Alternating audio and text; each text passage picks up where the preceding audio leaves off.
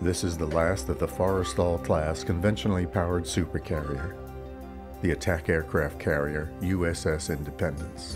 CVA 62 was launched in June 1958. The USS Independence had a displacement of over 80,000 tons.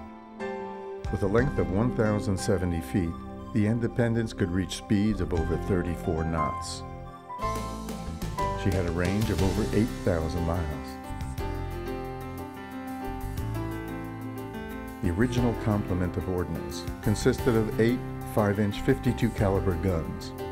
The Independence was then retrofitted with two banks of eight Sea Sparrow missiles and three Phalanx close-in weapon systems. The ship's crew consisted of 3,126 sailors.